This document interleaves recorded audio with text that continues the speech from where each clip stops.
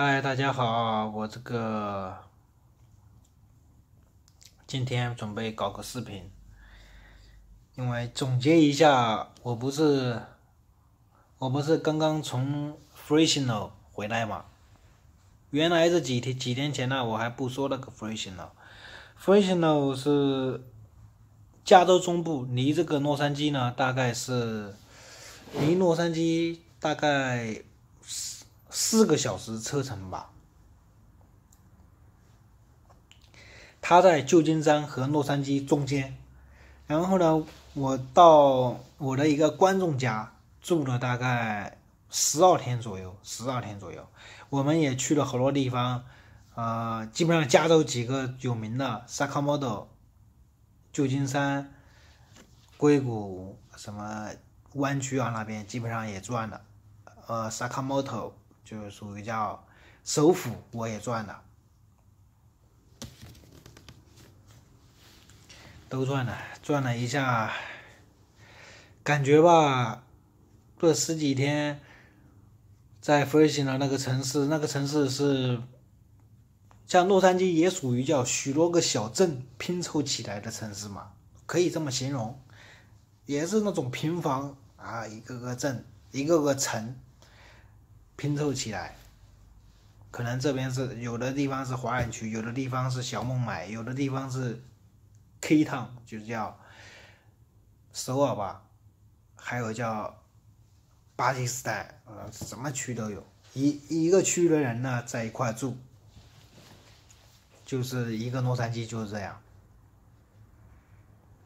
而那 Fresno 是比洛杉矶小了很多的，是大概。那个小城市，城市建筑呢，跟洛杉矶也差不多，都是那种 house 独立 house 嘛，house house。市中心呢有流浪汉，洛杉矶市中心也有流浪汉，所以吧，我一纳闷，哎，美国这大城市说人不往那市中心跑，真不往，市中心是流浪汉待的地方。我跟那个就有许多人吧，一说这个都不相信。市中心好多流浪汉，而且吧，人们呢，美国这边好多人嘛，住住的地方啊，他是远离市中心，他住郊区，他每个地方都只有洛杉矶只有市中心有高楼，别的地方都是平摊的。在弗瑞县的那边那边呢？高楼都没有，整个城都是平坦的，都是那种独立的 house house，一个个小区，一个个房子排排的非常整齐。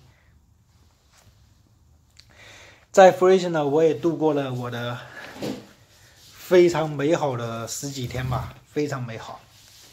十分感谢那位观众把我给叫带我转了转许多地方，太感谢他们了。也让我体验了一把纯正的美国小城市的生活，太安静了，那小城市啊，太安静了，那空气太好了，人呢太少了，哎呦我去，除了出去转一转能遇到几个人，要不然真的没人，遇不到人。它不像它不像中国说有地铁，那边没有地铁，那边一出门就是买个菜都要开车，当然开车很方便啊。对，还有想我想起来了，就在美国没有汽车，就跟没有，可能在纽约比较好一点，东部比较好一点，但是在加州啊，旧金山我也去了，Sacramento、Fresno、Los Angeles，没有汽车就跟没有腿一样。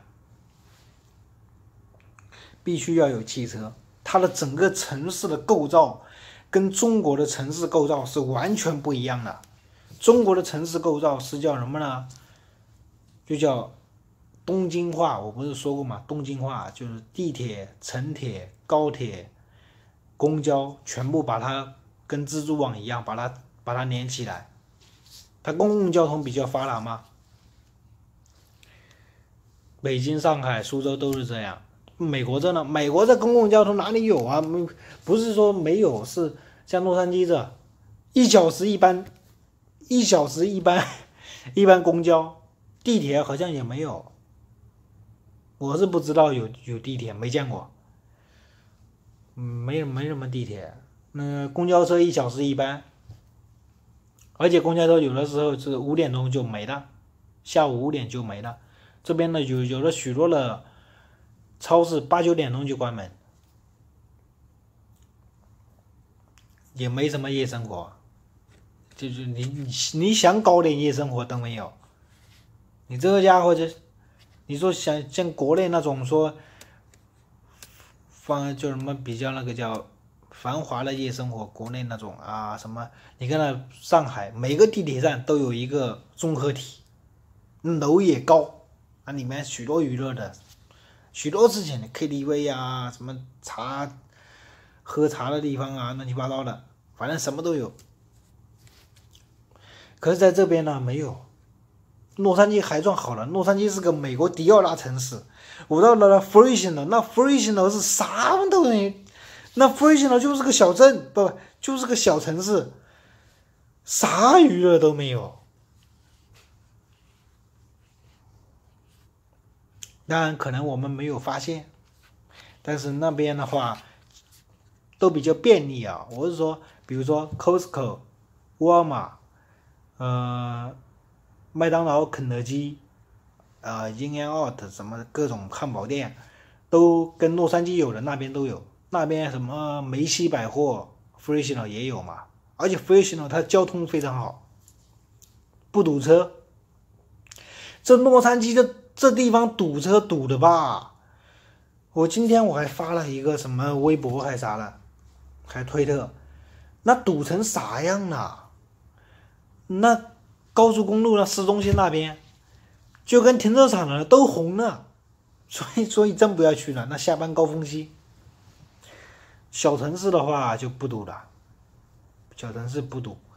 美国的小城市，它生活很简单的。美国的生活是，至少给我的感觉啊，很简单，人与人之间的关系也很纯粹。因为为什么纯粹啊？它基本上就没啥关系，它距离比较远。一出去就人就人就坐在汽车里面，一出门买个菜就是汽车，所以你跟别的汽车你也不交流。你到那边买菜吧，什么沃尔玛、Costco 各买各的，买完就走，买完就走嘛。一回来又是开车，在家里面，而且那个家呢都是独栋 house，都是 house house house。你在家里面，你不可能跟另外一个家说串串门呐，像中国那种说串串门呐啥的。没有这个，所以这人这生活就就这样过了，一天就这么过了。说稍微能有点能认识一点新人的、新鲜的人的、陌生人呢，就教会能遇到一点。逛超市的时候，估计认不识不了几个人，也就在教会能，或者说工作，你干了什么工作，遇到了同事，你能遇到。可是在这边吧，我我听我的那些朋友啊，不不能说朋友吧，是在这边我遇到那些房东啊什么，他说嘛就纯粹工作关系。哎呀，美国这，没他说那个房有个房东跟我说，美国这就是各顾各的，都是打工的，挣钱的，没人跟你搞关系的，没人跟你搞关系，跟国内的天天搞什么关系？这边都是挣钱的，对不对？你你是什么？你是什么？你是多么有钱？说啊，跟他没什么关系。我们我们那我那房东跟我说，你就算是比尔盖茨，跟跟他也没什么关系，钱也不不给他，跟他能有什么关系啊？对吧？你又是流浪汉，现在市中心的那帮流浪汉，跟他也没什么关系。跟他有关系的就工作拉货，开车拉货，把这工作工作干好了，那就拿钱。每个月拿钱拿工资，没了，生活太简单了。美国这真的是生活太简单了，一天就不管你是什么人，就除了你是特殊职业的，说什么从事间谍活动，那每天生活就丰富多彩。普通人真的是生活太单调了。我就见他们的生活，我就感觉到，我们早上有的时候去跑步啊。我总看见那那一帮人在跑步，嗨，我说这，总看到那一帮，因为因为他生活太有规律了，他早上七七八点钟出出门跑步，跑跑步或者遛遛狗，然后吃个饭又出去开车上班了，上了班之后到晚上呢，就一般就是送孩子嘛。先送完孩子上学，然后去上班，到下午三四点钟，美国放学了。放学了就是他就先去接孩子回家，然后买菜啊，还什么的什么的，都有规律。然后回家做饭给孩子吃，吃完饭孩子赶快上上学啊，不不上床啊，睡觉啊，还有做游戏呀，基本上都这样。还有我在那图书馆里面遇到的是三点钟以后，家长还去辅导这个学生，辅导学生啊，不辅导孩子，家长啊辅导辅导孩子说这怎么读书啊，就写作业啊，怎么？因为因为他两三点，美国这两三点学校就放学了，小学放学了，放学了之后，父母吧有的把他接的回家。有的接回家，直接回家，可能在家里面做做游戏、辅导功课；有的呢是直接把孩子接到图书馆里面，啊，看看书啊，做做作业。就每个人的生活几乎都这样，都他是很有规律的。美国这生活很有规律的，而且很简单，我是感觉到了，它很简单，它规则太明明确了，就跟那开车的呢。开车你没看到说什么插队啊，说乱糟糟了，太简单了。美国太简洁了，它的规则明了明确了，就规则都明确了，你该怎么玩怎么玩，你不要想搞什么，搞什么小花点子，那没有，没有。你想搞什么业余活动，什么夜间合作活动，就像中国的夜生活没有，能有啥夜生活啊？这边啊？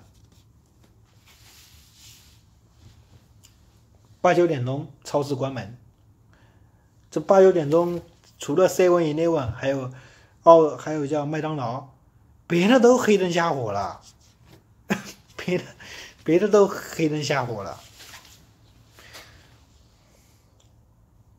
各忙各的。你说你有什么事情呢？你给我找个朋友什么？各忙各的，人家都有自己的生活了，都要打工挣钱了，对不对？美国这真的时间就有金钱。根本没空跟你跟你耗了，说跟你这天天耗半天，那那半天人家能多挣多挣几十块钱呢。我们这房东，我看到这边不光光是华人这样，整个至少我接触了许许多多形形色色的人呢，因为我吧火了之后，我接触了形形色色的人。不管是黑人、白人、黄人，大陆的、中国大陆的、台湾的、香港的、东南亚马什么马来西亚了什么，包括各州的，还有日本人，我也接触了，在这边啊都这样，他的生活太单调了，这家伙这太单调，他这。什么时候起床？什么时候送孩子上学？然后上班，上完班之后呢？对吧？又下班了，又接孩子回家，该做菜做菜，该做饭做饭。啊，一家里面家里面养两三个小孩，就这么弄呗。他的生活也都是有保障的嘛。有工作的话，各种医疗保险啊，车子的保险啊。我至少我所了解的普通人的生活很有规律，很有规律，不像中国那种。中国人的生活是叫不具备可测性，叫不可测。中国今年能过得好，不知道明年过得怎么样。中国是这种的。说不定今年这工作呢，在这在这干了，明年可能就失业回家了，老婆离婚了，